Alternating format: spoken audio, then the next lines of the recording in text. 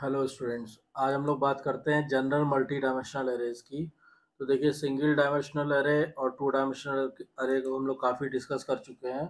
Last video lecture में हमने आपको टू डायमेंशनल एरे में row major order, column major order के बारे में बताया था। तो पहले उस पर एक न्यूमेरिकल कर लेते हैं, उसके बाद फिर हम लोग आज का टॉपिक शुरू करते हैं, जनरल मल्टी डायमेंशनल एरे तो देखिए, रो मेजर या कॉलम मेजर ऑर्डर क्या होता है, उसमें एड्रेस कैसे निकालते हैं किसी भी इंडिविजुअल एलिमेंट का, ये सारी चीज़ें लास्ट वीडियो लेक्चर में आपको बताई जा चुकी हैं। आज उस पर हम एक एग्ज़ाम्पल लेते हैं।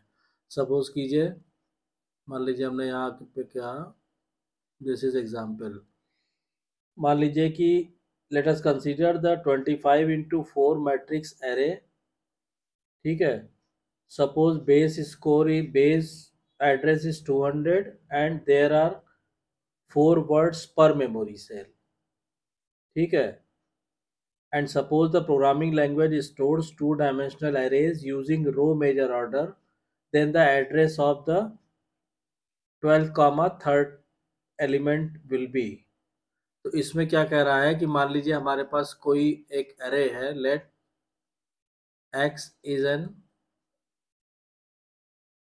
array of twenty five row into four column पहली चीज़। दूसरी चीज़ words per memory W is two कितना दिया हुआ है? फोर यानी four words per memory cell ठीक? बेस एड्रेस कितना दिया है? बेस एड्रेस दिया है। बेस एड्रेस इज़ 200 करेक्ट अब ये क्या कह रहा है कि and the elements are stored in row major order तो एलिमेंट जो स्टोर हैं, वो प्रोग्रामिंग लैंग्वेज पर डिपेंड करता है। तो प्रोग्रामिंग लैंग्वेज ने एलिमेंट्स को जो स्टोर किया हुआ है, वो रो मेजर ऑर्डर में। रो मेजर ऑर्डर में, ठीक। अब हमें क्या करना है? हमें करना है find the address of address of X twelve comma three. इस एलिमेंट का हमको एड्रेस फाइंड आउट करना है। सारा डेटा जो दिया हुआ है, इसकी हेल्प से। ठीक है, अब इसमें क्या करेंगे हम? सबसे पहले कि जो फार्मूला हमने लास्ट वीडियो लेक्चर में आपको बता, बताया था उस हिसाब से यहाँ पे हम लोकेशन निकालेंगे उस एलिमेंट की।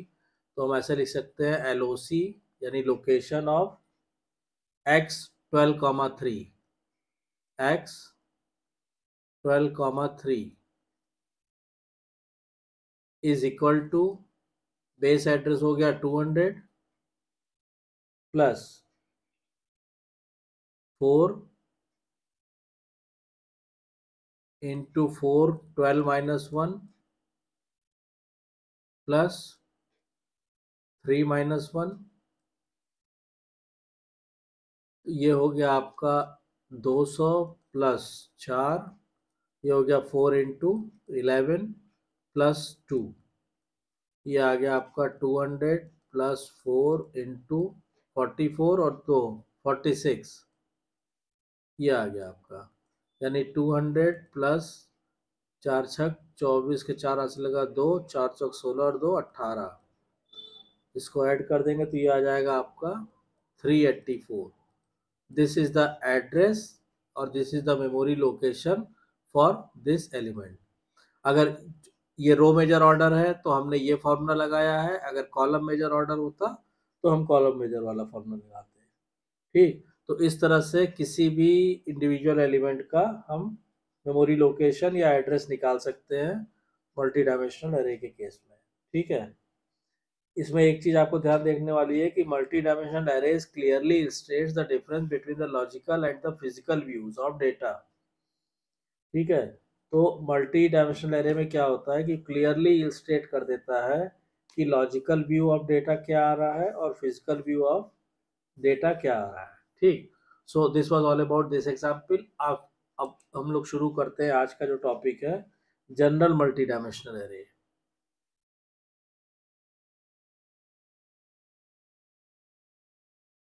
general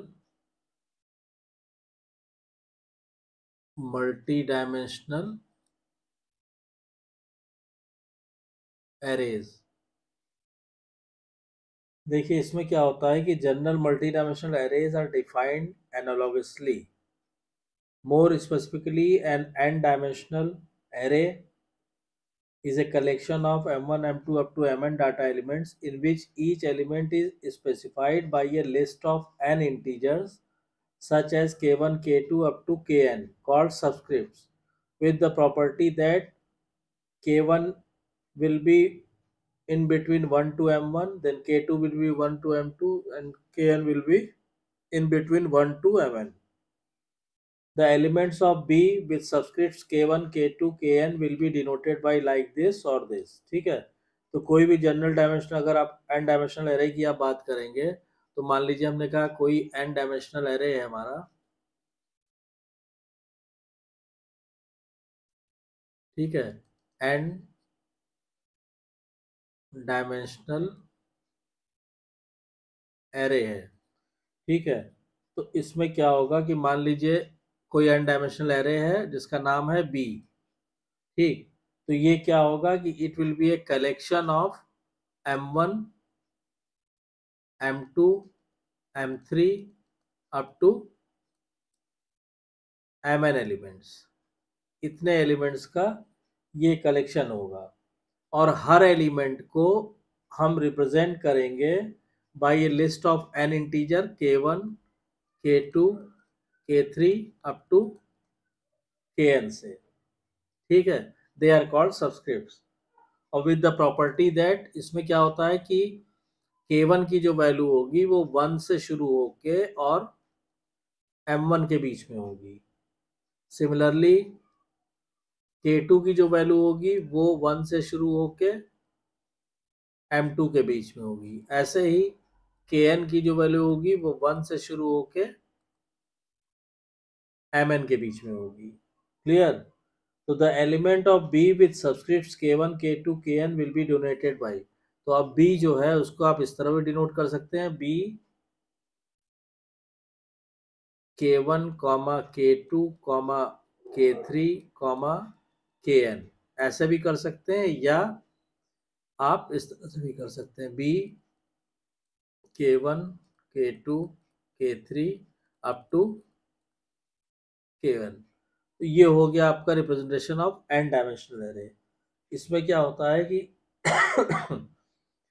The array will be stored in memory in a sequence of memory locations.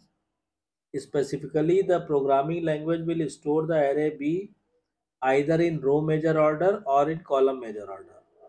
By row major order, we mean that the elements are listed so that the subscripts vary like an automobile odometer.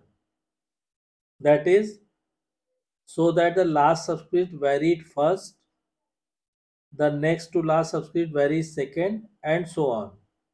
और column major में क्या होता है कि the elements are listed so that the first subscript varied first most rapidly the second subscript second and so on तो row major में क्या होता है कि जो लास्ट वाला है, वो रैप सबसे रैपिडली मूव करता है और कॉलम मेजर में क्या होता है, जो फ़र्स्ट वाला होता है, वो सबसे रैपिडली मूव करता है।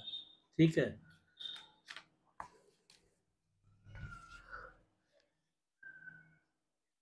अब इसी कॉन्सेप्ट को या अगर आप एड्रेस निकालना चाहें तो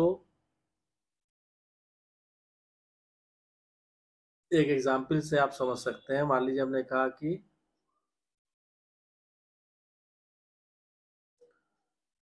मान लीजिए बी क्या है? बी एक थ्री डायमेंशनल एरे है। If B is a three dimensional array है मतलब two into four into three ये एरे है। देन बी कंटेन्स तो बाई टू फोर थ्री यानी टोटल एलिमेंट्स इसमें कितने हो जाएँगे? टोटल एलिमेंट्स इसके अंदर हो जाएँगे दो इंटू फोर इंटू थ्री दो चौक आठ या चौबीस चौबीस एलिमेंट्स हो जाएँगे। These twenty four elements of B are ठीक है represented in a pictorial way ठीक है। अब ये जो ट्वेंटी फोर एलिमेंट्स हैं बी के इसको अगर आप पिक्चोरियल रिप्रेजेंटेशन में करेंगे तो आपको इस तरह रिप्रेजेंट करना होगा। मान लीजिए सपोज़ कीजिए हमने कहा कि से ये तो हो गया हमारा पेज वन ठीक है? फिर मान लीजिए, ये हो गया पेज टू और फिर मान लीजिए, ये हो गया हमारा पेज थ्री ठीक है? तो ये हमने इसको मान लीजिए, इसको हम लिखा पेज वन, ये हो गया पेज टू, ये हो गया पेज थ्री।